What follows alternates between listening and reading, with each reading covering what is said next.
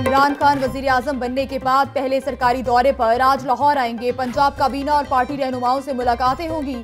کابینہ ارکان کو مختلف محکمانہ امور سے متعلق اپنے ویژن سے آگاہ کریں گے۔ ضمنی الیکشن میں امیدواروں کی ٹکٹس پر بھی مشاورت ہوگی۔ زمان پاک میں سیکیورٹی کے فول پروف انتظامات مکمل۔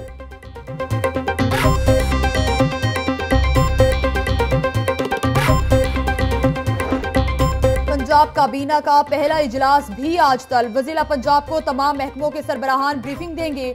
وی آئی پی کلچر کا خاتمہ۔ کفایت شعاری سے متعلق پالیسی کی منظوری بھی ایجنڈے میں شامل۔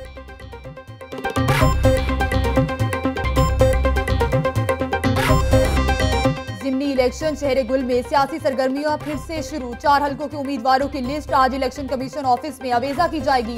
قومی اسمبلی کی دو نشستوں پر اٹھاون اور صوبائی اسمبلی کی نشستوں پر تہتر امیدواروں نے کاغذات جمع کرائے۔ امیدواروں کی اسکروٹنی کا عمل چار سپٹمبر تک جاری رہے گا۔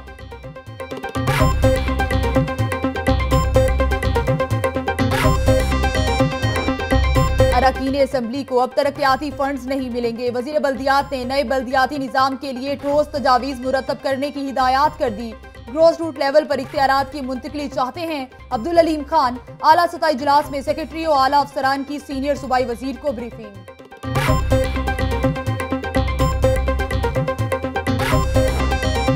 غریب عوام کی فلاح کے لیے محنت اور جذبے سے ٹیم کی طرح کام کرنا ہوگا۔ چھوٹی صنعتوں کے فروغ کے لیے جامع پلان بنا کر عمل درآمد یقینی بنایا جائے گا۔ عوام نے ہمیں جو واضح مینڈیٹ دیا ہے، ہم اس کی لاج رکھنا ہے۔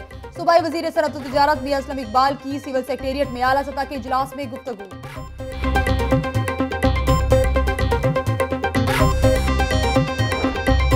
اداکاروں کے خلاف بیان دینے کے بعد فیاض الحسن چوہان نے معافی مانگ لی۔ کہتے ہیں فنکاروں کی آئندہ احتیاط کروں گا مذاق میں کہی گئی بات کسی اور طرف چلی گئی اداکارہ میگا اور نرگس میرے لیے قابل احترام ہیں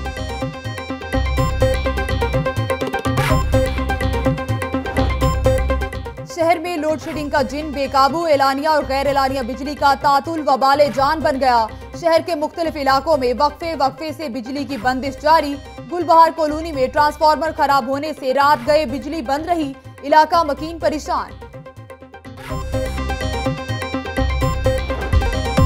ایل ڈی اے کا خیابان جناح پائن ایوینیو اور P C S R society میں آپریشن خیابان جناح پر غیر قانونی طور پر بننے والی عمارت کی باؤنڈری وال اور گیٹ میں اسمار کر دیا گیا۔